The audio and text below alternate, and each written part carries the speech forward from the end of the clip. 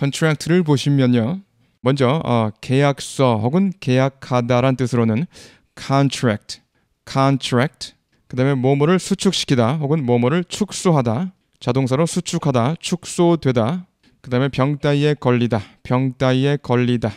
이럴 때는 contract, contract 강세가 뒤에 있습니다. contract, glass contracts. 유리는 수축합니다. glass contracts as it cools. 냉각이 되면 glass contracts as it cools. She contracted pneumonia. She contracted pneumonia. 그녀는 폐렴에 걸렸습니다. contracted pneumonia. contracted pneumonia. 폐렴에 걸렸습니다. 그 다음에 win a contract. 계약을 따다, 계약을 따다. win a contract to build a new school. 신설학교 건설 계약을 수주하다. win a contract to build a new school. 계약을 수주하다. 이때 contract 명사이지만 동사로 쓰인다 할지라도 contract 강세가 앞에 있습니다. 동사의 경우도 contract라는 거요.